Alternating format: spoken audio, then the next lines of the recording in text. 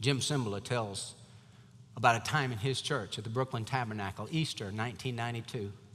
He said they'd had all these great services and, and the, the church was just doing so well and it was just such a great day and they were having their last service and things were closing out and people were coming to the altar to pray and he was just kind of sitting at the, the steps of the altar just like if I were to sit down right here and just kind of soaking it all in, kind of unwinding. He said there was a man in the back, homeless, obviously homeless, no front teeth and he said that he could tell that the guy wanted to come forward. And so Simba looked at him. Now he's in Brooklyn, and he said there are a lot of people like that that come to his church. And so he motioned for the guy to come forward. He said when the guy came forward, he almost threw up.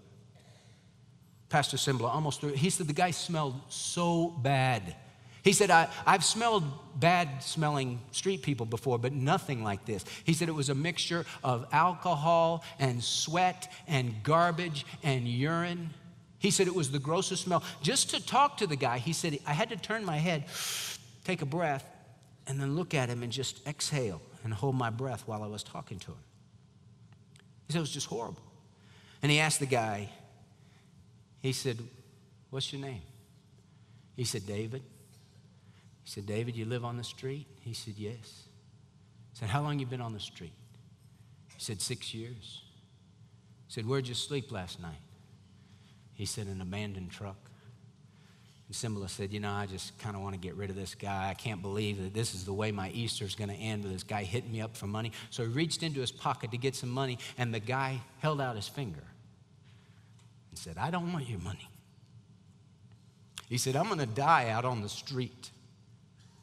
He said, I want to know the Jesus that your choir was singing about. And he said, right then, Jim Cymbala's heart just broke, and God convicted him for his pride, for his insensitivity, for him thinking to himself that this guy's not worthy of salvation. And he said, Oh God, have mercy on me. And oh God, forgive me. And oh God, cleanse me. And these are his words. He said, David sensed the change in me.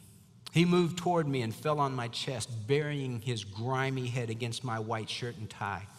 He said, holding him close, I talked to him about the love of Jesus.